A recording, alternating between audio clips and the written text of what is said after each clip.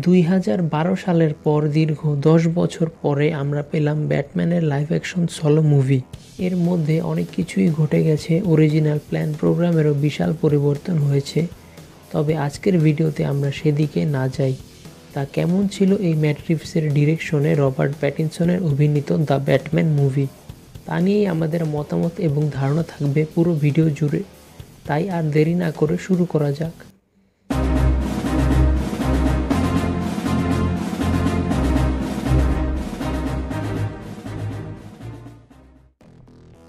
The Batman আগের DC ফ্র্যাঞ্চাইজগুলো থেকে পুরোপুরি নতুন রিবুট, যেখানে ডিসির চলমান অন্যান্য ইউনিভার্স এবং আগের ব্যাটম্যান মুভিগুলোর সাথে কোনো কানেকশন রাখা হয়নি। বর্তমান সময়ের পরিচিত সুপারহিরো মুভি ফর্মুলার বদলে ডিরেক্টর ম্যাট রিভস এগিয়েছেন ভিন্ন পথে। চোখ দাদানো ভিজুয়াল ধুন্ধুমার অ্যাকশন, ফ্যান সার্ভিসের ভিড়ে এখন মুভির প্লট অনেকটাই অবহেলিত।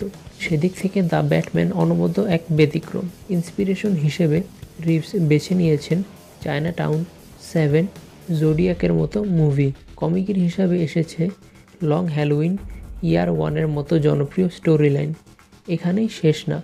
ব্যাটম্যান দ্য অ্যানিমেটেড সিরিজের পাশাপাশি Batman the long Halloween animated মুভির প্রতিচ্ছবিও পাওয়া যায় এই নতুন মুভিতে এছাড়াও টেল টেল এবং আরখাম গেমসের সাথেও রয়েছে বেশ কিছু মিল।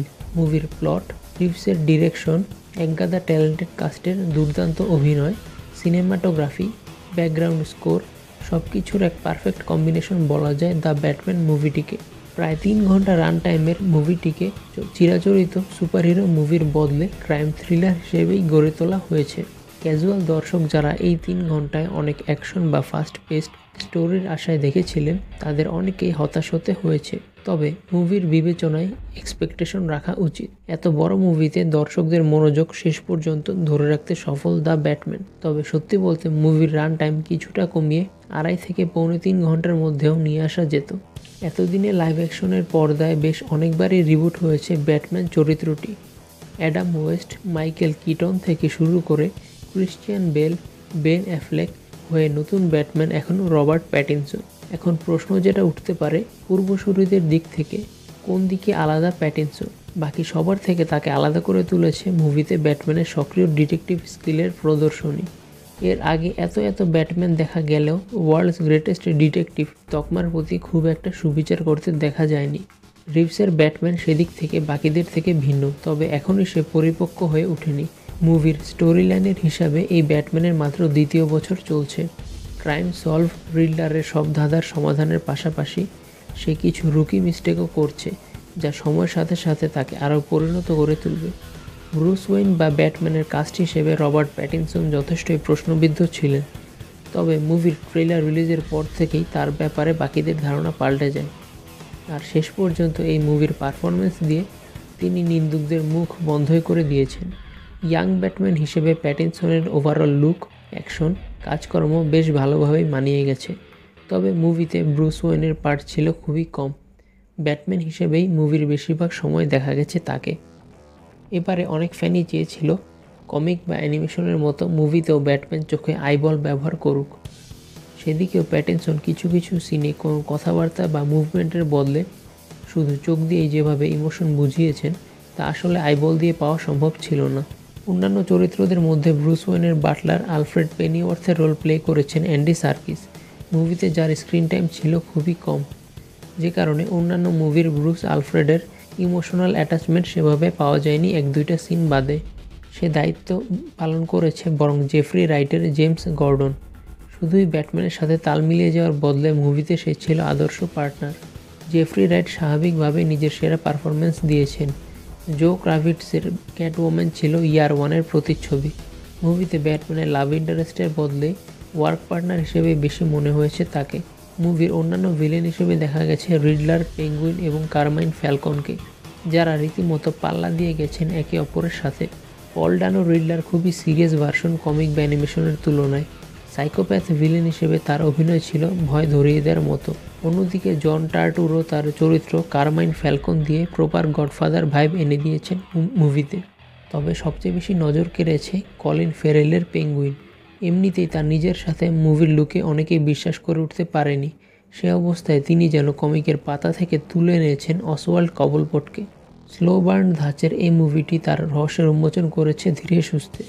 থ্রিলারের ক্রাইম, ফেলে আসা ক্লু সাসপেক্টদের ভিড়ে ব্যাটম্যানের সাথে দর্শকরা নিজেরা একাত্ম হয়ে যাবেন। রহস্যের সমাধান নিজেদের করার একটা চেষ্টা চলে আসাটা স্বাভাবিক। শেষ কবে কোনো সুপারহিরো মুভির মধ্যেই এরকম চিন্তাভাবনার অবকাশ এসেছে তা মনে পড়ে না।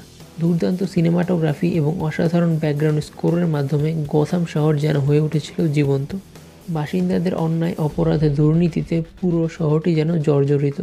উল্লেখযোগ্য ব্যাপার হচ্ছে, মুভিতে ব্যাটম্যানের তুলনায় ব্রুস ওয়েনের অংশ ছিল খুবই কম। চিরাচরিত প্লে বয়ের বদলে প্যাটিনসনের ব্রুস এখানে অনেকটাই অসামাজিক, মানুষের সাথে মিশতে পারে না।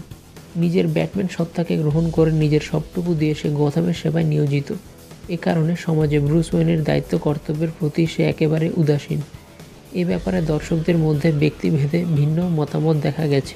যেহেতু ট্রিলজির প্ল্যান রয়েছে, তাই আশা করা যায় সময়ের সাথে সাথে এই ব্রুস ওয়েন আরও পরিণত হবে এবং তার দ্বৈত পরিচয় ভালোভাবে মেনটেন করতে পারবে। তবে মুভিতে আলফ্রেডের এত কম স্ক্রিন টাইম আসলেই চোখে পড়ার মতো। মুভিতে ব্যাট মোবাইলের ইন্ট্রোডাকশন ছিল অনেক দিন মনে রাখার মতো। পেঙ্গুইনের সাথে কার চেস ছিল মুভির বেস্ট পার্টগুলোর একটি।